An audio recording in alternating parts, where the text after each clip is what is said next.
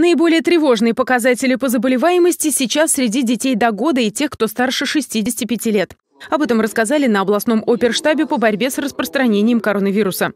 Вместе с тем кардинально улучшилась ситуация среди школьников. Заболеваемость снизилась в два с половиной раза. Это результат прежних решений штаба, дистанционного обучения и ввода ряда ограничительных мер. Министр здравоохранения региона Армен Бенян рассказал, что хотя число случаев заболеваемости ковидом остается высоким, течение болезни для большинства людей проходит в легкой и средней форме. В 33 медицинских учреждениях подготовлены 5835 коек, из них используется 4568. Более 3000 коек находятся в резерве. 67% пациентов у нас традиционно обеспечиваются на дому и 33% в поликлиниках.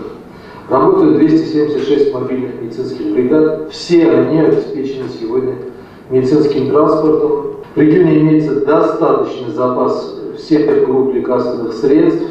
Стабилизация ситуации с заболеваемостью COVID-19 – результат самоотверженной работы врачей. С целью их дополнительной поддержки глава региона приняла решение премировать медиков государственных учреждений здравоохранения и водителей скорой помощи.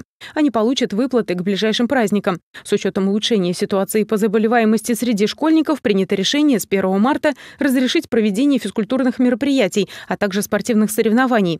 Дети вновь смогут посещать учреждения дополнительного образования и культуры. У нас по детям мы вот эти ограничения по культурным мероприятиям, посещения музеев, театров и так далее, да, и дополнительное образование все снимаем сегодня. С 1 марта да, соревнования проводим, дети тренируются, в кружки ходят, культурные учреждения посещают.